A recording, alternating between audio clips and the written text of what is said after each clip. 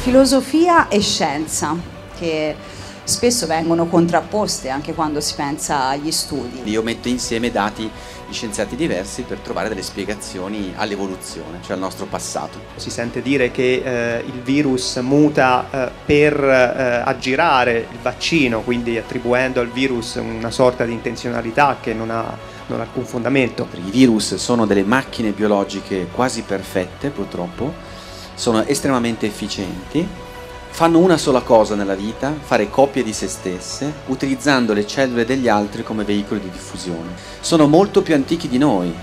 Fate conto che noi esseri umani siamo su questo pianeta da circa 200 millenni, che è niente dal punto di vista evolutivo. Un coronavirus come quello che ci ha colpito questa volta è in giro su questo pianeta da 3 miliardi di anni.